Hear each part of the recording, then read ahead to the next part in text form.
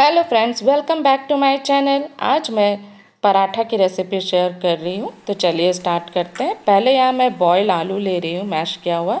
साथ ही यहाँ आटा, हरी मिर्च, धनिया पत्ती और जीरा, थोड़ी लाल मिर्च पाउडर और जिंजर पेस्ट ले रही हूँ। कसूरी मेथी जो है, उसको मैं हाथ से ही रगड़ के डाल रही हूँ, उससे अच्छी खुशबू आती है। थोड़ी नींबू का रस और टेस्ट के अकॉर्डिंग नमक। ये धनिया सीड्स है। नॉर्मल जो धनिया होता है, उसको जस्ट मैं कूट ली हूँ और डाली हूँ। एक चम्मच घी। और अच्छी तरह इसको मिक्स करूँगी। ये देखिए कितना बढ़िया मॉइस्ट हो गया है। अब मैं इस पर थोड़ा थोड़ा पानी डालूँगी। पानी जो है, बहुत थोड़ा ही ज़रूरत होता है, क्योंकि आलू सफिशेंट होता है आटा को गूंदने के लिए। तो बस एक चम्मच, डेढ़ चम्मच पानी डालिएगा। तो फ्रेंड ये जो पराठा है इसमें आपको सब्ज़ी या किसी तरह की ग्रेवी की ज़रूरत नहीं है। आप इसे दही, सलाद या चटनी सॉस किसी चीज़ के साथ खा सकते हैं। ये दस मिनट में ढकने के लिए रखी थी ताकि उससे सॉफ्ट हो जाता है। अब मैं एक एक करके रोटी तैयार करूँगी। तो मैं सूखे आटे में लपेट लेती हूँ गोले को और अच्छी तरह बहुत प्रेशर नहीं दीजिएगा, थोड़ा लाइट प्रेशर से ही इसको रोटी को बेलिएगा, नहीं तो ये टूट जाएगा आलू की वजह से।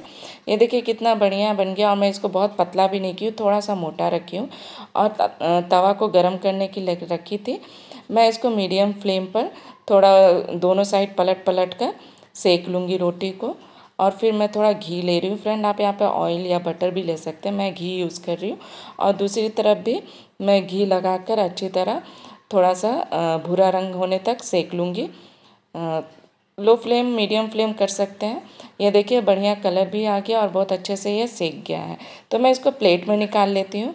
अब ये रेडी है फ्रेंड, आप इसको टिफ़िन में भी ले सकते हैं। अगर आप ऑफ़िस जाने के लिए लेट हो रहे हैं तो बस बनाया और टिफ़िन पैक किया और निकल गए। इसको आप दही, चटनी, सॉस किसी के साथ खा सकते हैं। तो और ये काफ़ी सॉफ्ट, बहुत अच्छी टेस्ट आती है। और ऐसा नहीं कि ये ठंडा होने पर ये कड़ा हो जाता, कुछ नहीं, बहुत अच्छी है। अब चलिए मैं दूसरी रेसिपी शेयर कर रही हूँ, जो है गार्लिक लहसुन पराठा।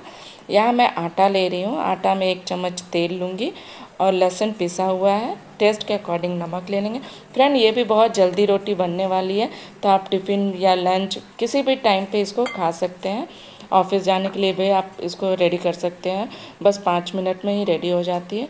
और यहाँ फ्रेंड मैं गर्म पानी से आटा गूंद रही जिससे लहसुन का जो पेस्ट है, उसकी खुशबू बहुत अच्छी आने लगती है। तो मैं गर्म पानी से इसको करी बस थोड़ा ऑयल लगा कर कवर करके थोड़ी देर के लिए रख दूँगी, जिससे सॉफ्ट हो जाए। तब तक यहाँ मैं गार्लिक बटर रेडी कर रही हूँ। बटर धनिया पत्ती और लहसुन, मिर्ची डालकर बस इसको अलग करती हूँ। अब ये जो आटा है, ये बहुत अच्छे से सॉफ्ट हो गया है। मैं थोड़ा गूंद लेती हूँ। और इसको चार पार्ट में मैं डिवाइड कर रही हूँ और ये जो रोटी है ये थोड़ी बड़ी बनाएँगे। मतलब थोड़ा पतला भी करेंगे और काफ़ी बड़ा भी करेंगे।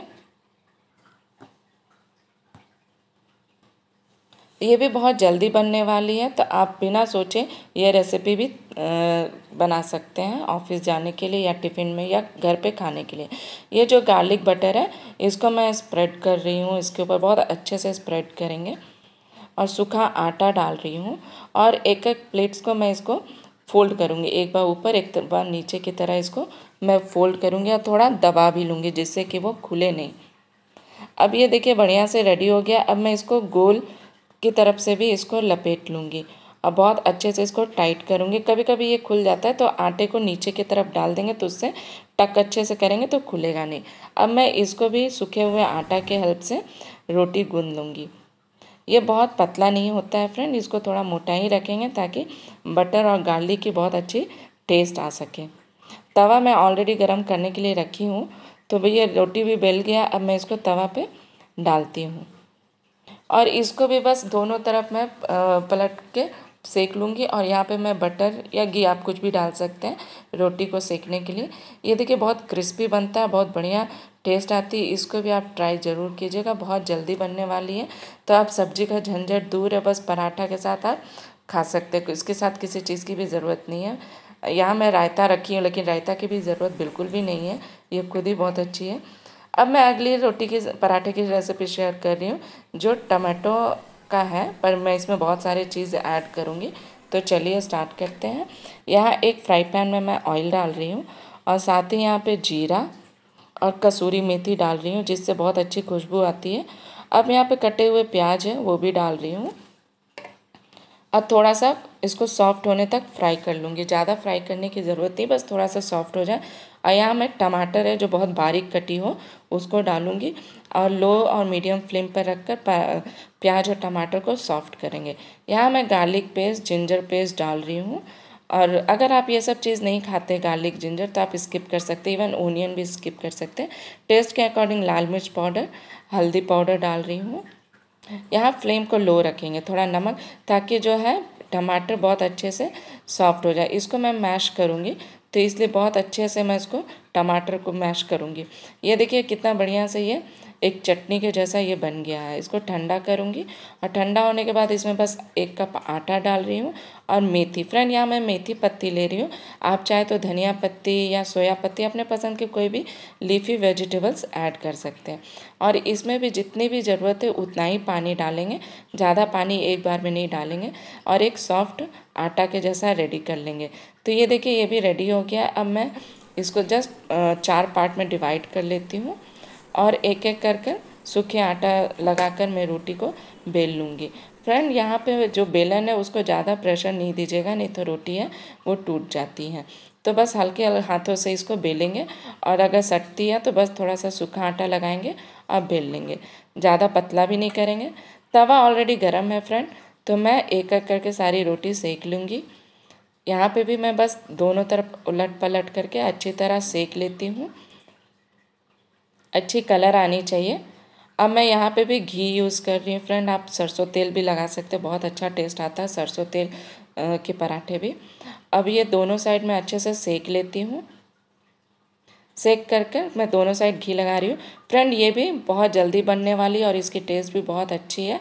तो आप ये लंच डिनर या टिफ़िन बॉक्स या बच्चों के लिए या अपने लिए भी टिफ़िन में ले जा सकते हैं।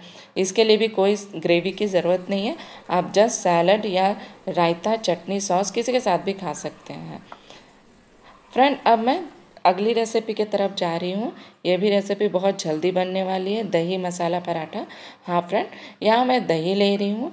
दही के साथ मैं यहाँ पे अजवाइन, थोड़ा चाट मसाला, लाल मिर्च पाउडर और हल्दी पाउडर ले रही हूँ।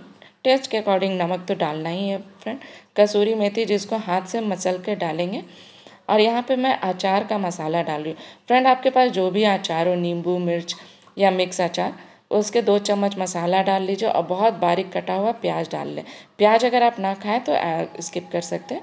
थोड़ा गार्लिक पेस्ट डालकर मैं इसको मिक्स कर ली अब मैं यहाँ पे आटा ले रही हूँ। और फ्रेंड यहाँ पे पानी की ज़रूरत ऐसे पड़ती नहीं क्योंकि दही ही और आटा सफिशेंट होती है। अगर ऐसा लगता है तो आधा या एक चम्मच पानी डालकर इसको आटा को गूंद लेंगे। तो मैं यहाँ पे आधा चम्मच पानी डाल रही हूँ, यहाँ पे ज़रूरत पड़ा तो मैं डाल रही हूँ। अगर आपको नहीं लगता तो आप नहीं, आप दही भी डाल सकते हैं सिर्फ़, और अच्छी तरह इसको भी मैं गूंद लेती हूँ। और जस्ट पाँच मिनट के लिए इसको नरम होने के लिए रखेंगे। नॉर्मल में फ्रिज में ज़रूरत नहीं रखने के लिए। अब मैं एक एक करके इसको चार भागों में बांटूँगी। तो फ्रेंड इसकी भी टेस्ट बहुत बढ़िया आती है। आप इसको किसी भी टाइम पे खा सकते हैं। इसके लिए भी ग्रेवी की ज़रूरत बिल्कुल भी नहीं है। अब मैं सूखे हुए आटा में इसको लपेट के रोटी को गोल बेल लेती हूँ। तो ये भी बहुत जल्दी बनने वाली है और बच्चों को भी पसंद आएगी, बड़ों को भी पसंद आएगी। आप एनी टाइम ये रोटी बना सकते हैं। अब ये तवा मैं ऑलरेडी गर्म कर रही हूँ। ये भी थोड़ी मोटे ही रखेंगे और मैं तवे पर डालकर दोनों साइड से एक एक मिनट करके मैं बार बार पलट कर अच्छी तरह सेक लूँगी। सेक लेने के बाद मैं यहाँ पे घी लगा लूँगी। घी लगाकर दोनों साइड अच्छी तरह मैं पका लेती हूँ ताकि रोटी अंदर से भी पक जाए। फ्लेम को ज़्यादा हाई नहीं रखेंगे फ्रेंड लो या मीडियम पे ही रखेंगे। तो ये देखिए, ये भी रोटी रोटी रेडी हो गई है। फ्रेंड अगर आपको ये पसंद आती है तो एक लाइक ज़रूर कीजिएगा। और फ्रेंड इसको आप शेयर भी कीजिएगा और ट्राई भी ज़रूर कीजिएगा। ये जितनी चार रोटी पराठे की रेसिपी शेयर की हूँ। Thanks for watching